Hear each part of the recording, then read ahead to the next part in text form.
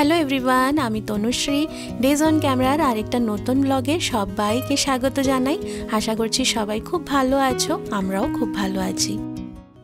আজ মঙ্গলবার, ঘড়িতে এখন সকাল সাড়ে নটা। আজ সকাল থেকেই ওয়েদারটা ভীষণ বাজে। মেঘলা, অন্ধকার আর তেমনই মুষলধারের বৃষ্টি। হিয়া স্কুলের জন্য সকাল সাড়ে আটটায় ঘর থেকে বেরোয়।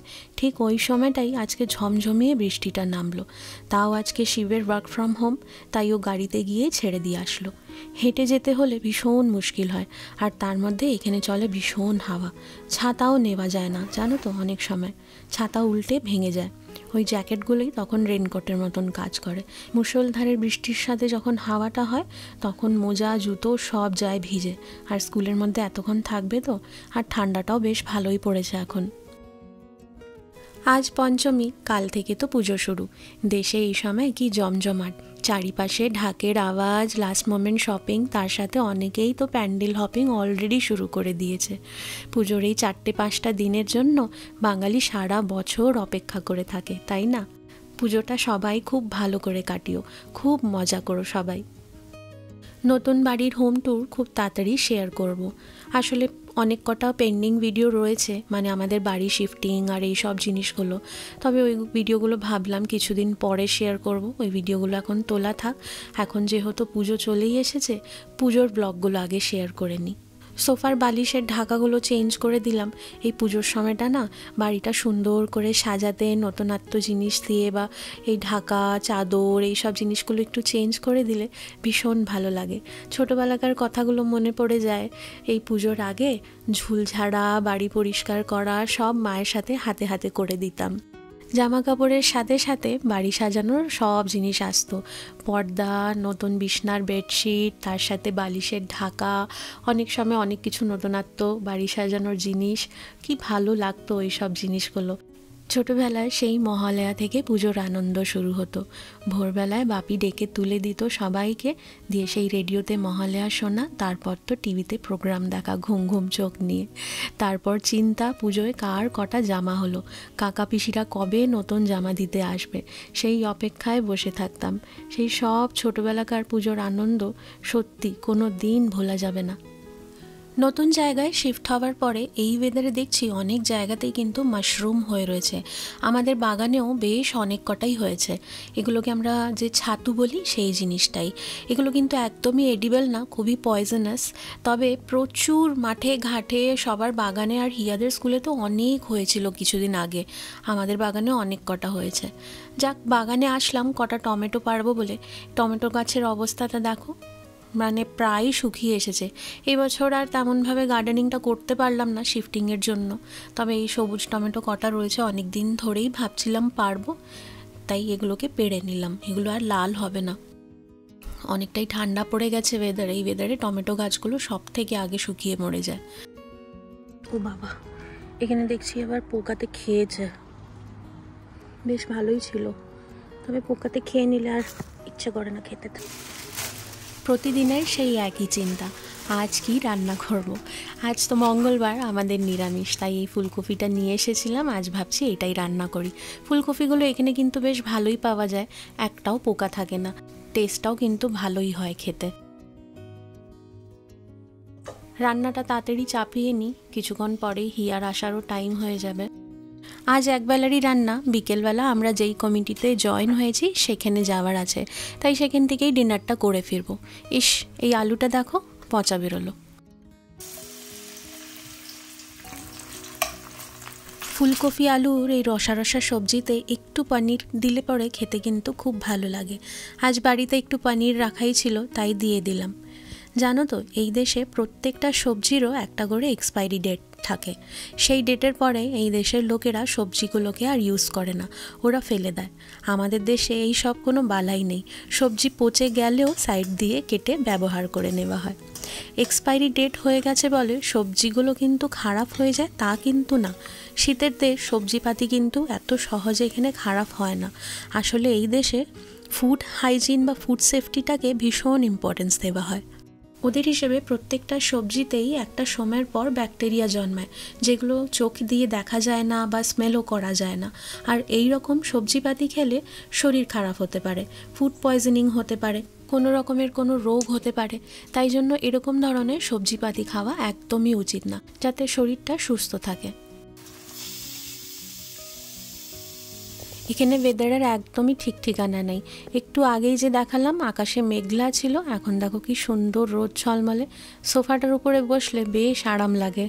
গায়ের মধ্যে রোদটা পড়ে তো, মনে হয় যেন রোদটা পুয়াতেই থাকি। যাক, বিকেলবেলা আমাদের বেরোনোর আছে বললামই, তাই জন্য শিব একটু অফিসের থেকে ব্রেক পেল দশ মিনিটের তাই বলল যে, একটু গাড়িটার মধ্যে কিছু কিছু দেখার আছে। বোধহয় চাকাতে হাওয়া একটু কম ছিল একটা সাইডে তো সেটাইও ভরতে গেল। পুজোর এই চারটে পাঁচটা দিন রান্নাঘরে ঢুকে থাকতে একদমই ভালো লাগে না। পুজোর সময়টা মনে হয় শুধু আনন্দ করি, সাজুগুজু করে বেরিয়ে পড়ি ঠাকুর দেখতে। কিন্তু রান্না করব না বললে কি আর চলে? তাই রান্নাঘর থেকে ছুটি কোনো দিনও পাওয়া যাবে না। আমার বাপের বাড়িতে পুজোর এই চারটে পাঁচটা দিন মাকে কম থেকে কম রান্না করতে বলা হতো। কারণ দুপুরবেলা তো আমরা প্যান্ডেলেই বসে ভোগ খিচুড়ি খেতাম। যতই গরম লাগতো, নতুন জামা কাপড়, তার মধ্যে বেদার গরম, কিন্তু সেটারও কিন্তু একটা আলাদা মজা ছিল সবার সঙ্গে বসে সেই খিচুড়ি খাওয়া। রাত্রেবেলার দিকে মা যতই জোর করতো, তোরা একটু খেয়ে বেরো। কিন্তু আমি আর দাদা সব সময় বলতাম যে, না, আমরা ওখানে স্টলে গিয়ে খাব। আসলে আমাদের যেই জায়গাতে পুজো হতো, কালীবাড়ির বাইরের দিকটা প্রচুর স্টল বসতো। তাই জন্য যত আমরা ভাই বোনেরা আছি, কাকাতো, পিস্ততো, সবাই মিলে ওই স্টলে গিয়ে খেতাম। এই যে হিয়াও স্কুল থেকে চলে এসেছে আমার ওকে খাইয়ে দাইয়ে রেডি করে আমরা বেরোবো। দুষ্টুমি দেখেছ? রেডি হয়ে নিয়েছি, আজ একটা কুর্তি আর প্লাজো পরলাম। কালকে থেকে শাড়ি পরবো। বাইরে যা মুসলধারের বৃষ্টি, তাই হিয়াকে বললাম দৌড় দিয়ে গাড়িতে ঢোক। আমাদের আধ ঘণ্টার মতন লাগবে ওখানে পৌঁছাতে। আজ পঞ্চমী, আজ সবাই আসবে মেম্বাররা স্টেজ ডেকোরেশন করতে। চলো, আস্তে আস্তে এগোই, আধ ঘণ্টার মতন আমাদের লাগবে পৌঁছাতে। আবার তাড়াতাড়ি বাড়িও ফিরতে হবে, কারণ কালকে রয়েছে স্কুল। এখানে তো পুজোতে ছুটি থাকে না, তাই শিবেরও অফিস আর হিয়ারও স্কুল রয়েছে। এই সময়টা রাস্তাঘাটে বেরোলে ভীষণ ভালো লাগে। প্রত্যেকটা গাছের পাতার রঙগুলো দেখো কি সুন্দর লাগছে। এটা হলো অটম সিজন তাই প্রত্যেকটা গাছের পাতার রং চেঞ্জ হয়ে যায়। শীতকাল আসার সাথেই পাতাগুলো ঝরে যাবে, আর পাতাগুলো ঝরে যাওয়ার আগে এরকম রঙের হয়ে যায়। ভীষণ সুন্দর লাগে এই সময়টা। কোনো গাছের পাতা লাল, কোনোটা অরেঞ্জ কোনোটা আবার সবুজ। আমরা এখন চলে আসলাম টেস্কোতে কালকে রয়েছে ষষ্ঠী পুজো, তাই ভাবলাম যে যাওয়ার আগে কিছু জিনিস নেবার আছে। একটু ফল, একটু ফুল, এইসব জিনিসগুলো নিয়ে গাড়িতে রেখে দেব। কারণ বাড়ি ফিরতে আমাদের অনেকটাই রাত হবে, আর কাল তো রয়েছে শিবের অফিস। সকালবেলা আর আসা হবে না, তাই এখনই নিয়ে রেখে দেব। রেনবো বেরিয়েছে। তার মধ্যে গাছগুলো সুন্দর লাগছে। বৃষ্টি এই দেশে প্রত্যেকটা গ্রসারি স্টোরেই একটা করে সেকশন বানানো থাকে, যেখানে এরকম নানা রকমের ফ্লাওয়ার বুকে রাখা থাকে। এই দেশের লোকেরা ফ্লাওয়ার ভীষণ পছন্দ করে। প্রতি সপ্তাহে যখন গ্রসারি করতে আসে, তখন একটা কি দুটো করে ফ্লাওয়ার বুকে বাড়িতে নিয়ে যায়, বাড়ি সাজানোর জন্য। বা কারোর বাড়িতে যদি যাচ্ছে, তাহলেও কিন্তু এরা ফ্লাওয়ার বুকে দিতে ভীষণ পছন্দ করে। থ্রি পাউন্ড থেকে স্টার্ট হয়ে টোয়েন্টি পাউন্ডস অবধি ফ্লাওয়ার বুকে এখানে রাখা রয়েছে। এই দেশের লোকেদের হিসেবে বাড়িতে যদি ফ্রেশ ফ্লাওয়ারের বুকে রাখা হয়, তাহলে মুডটা ভালো থাকে স্ট্রেস রিলিফ করতে সাহায্য করে। আর তার সাথে বাড়িতে একটা পজিটিভ ভাইবস দেয়।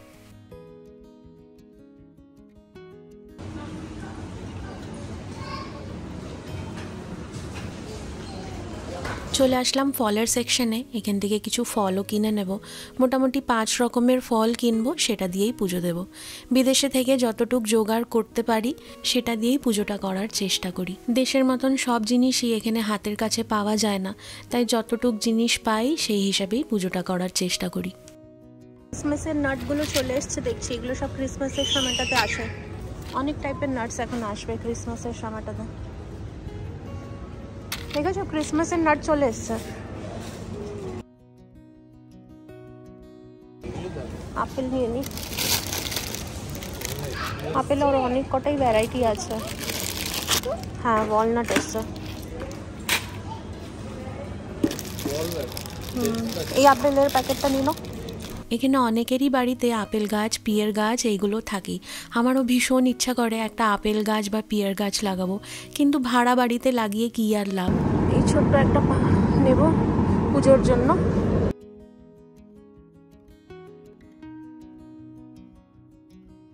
আমাদের শপিং কমপ্লিট। এখানে শিপ বিলটা করে নিচ্ছে। তারপরে সোজা চলে যাব ক্লাবে।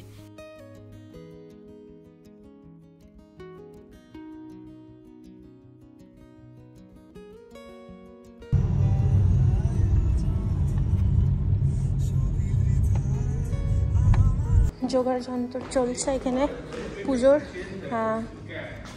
বড় বড় বাসন পত্র সব বেরিয়ে গেছে। আজ সকালবেলাই এই বাজারগুলো করে নিয়ে আসা হয়েছে। এগুলো সব এখন ভেতর দিকে তুলে রাখতে হবে আস্তে আস্তে করে। আর এই জায়গাটাকে পুরো খালি করে দিতে হবে।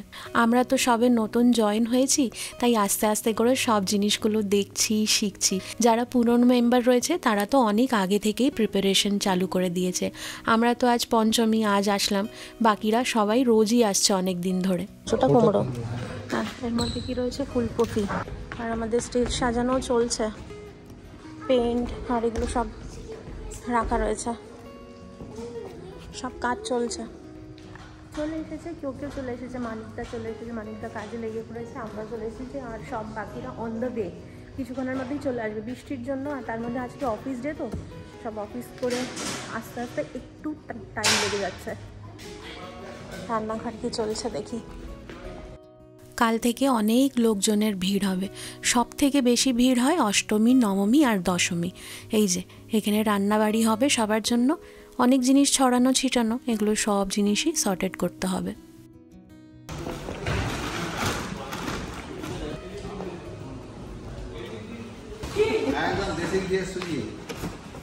মোহন ভোগ।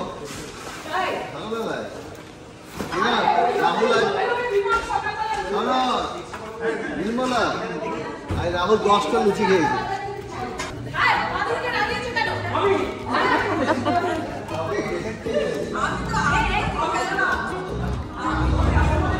একটা বক্স একটু তেড়া রয়েছে এই জন্য বেরোচ্ছে না।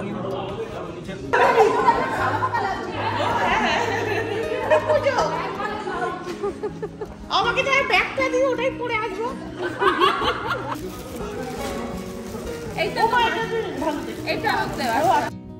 বিদেশের মাটিতে একটা পুজো পরিপূর্ণভাবে নামানো চারটিখানি কথা না কিন্তু অনেক খাটনি লাগে, অনেক প্ল্যানিং অনেক dedication hats off to our committee members যারা বহু বছর ধরে এই পুজো করে আসছে। অনেক কিছু শেখার আছে ওনাদের থেকে আমাদের। আজ কোনো বাচ্চা আসেনি, তাই হিয়া একটু বোর হচ্ছে, তাই জন্য একজন দাদু পেয়ে গেছে, ওনার সাথেই বল খেলছে। যাক এখানে শিব নিজের কাজ শুরু করে দিয়েছে সবার হাতে হাতে একটুখানি করে দিচ্ছে যাতে কাজগুলো একটু সবার জন্যই এগিয়ে যায় একটু ইজি হয়ে যায়। এখানে চলছে স্টেজ ফাইনাল ডেকোরেশনের কাজ এরপরেই মাকে নিয়ে আসবে। চাটনি? এই তো ঠাকুর বার করা হচ্ছে। নিজের নিজের দায়িত্ব নিয়ে সবাই কাজে লেগে পড়েছে। এখানে বিদিশাদি মশলাপাতিগুলো রেডি করে নিচ্ছে। ওইদিকে মানিক দা আজকে রাত্রে ডিনারের প্রিপারেশন করছে।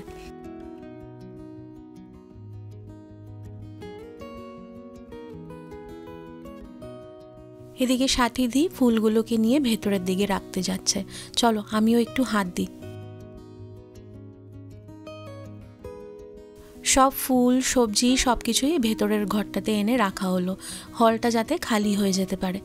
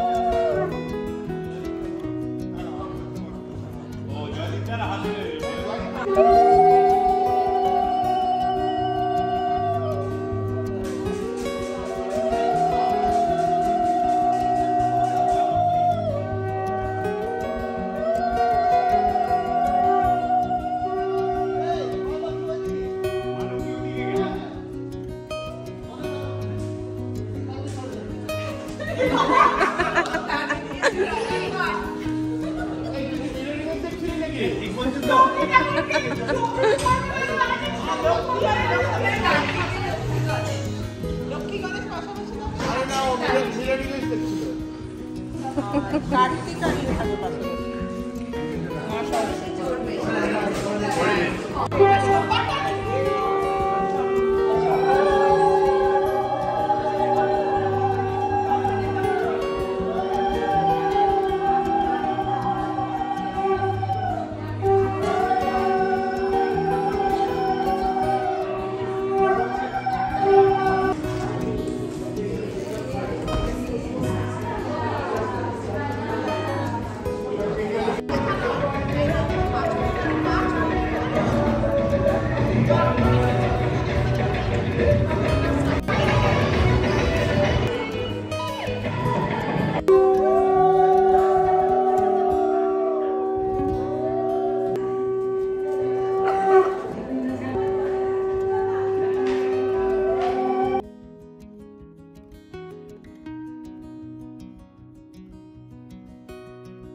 এবারে মাকে সাজানোর পালা তাই সবাইকে ডাকা হচ্ছে চলে আসো স্টেজের উপরে মাকে সাজানো হবে মায়ের সব অস্ত্র দিয়ে মাকে সাজিয়ে দেওয়া হবে চলো এবারে উপরে উঠি স্টেজে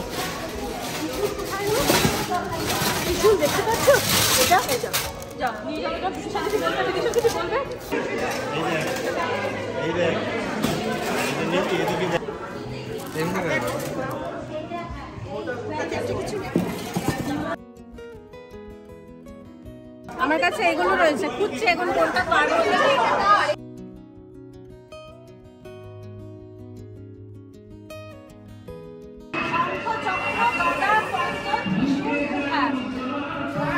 এবারে বাড়ি ফেরার পালা অনেকটাই দেরি হয়ে গেছে। কাল সকালে আবার হিয়ার স্কুলও রয়েছে। ডিনারটা সেরে নেব আর আজকের ডিনারের মেনুতে রয়েছে ডিমের ঝোল।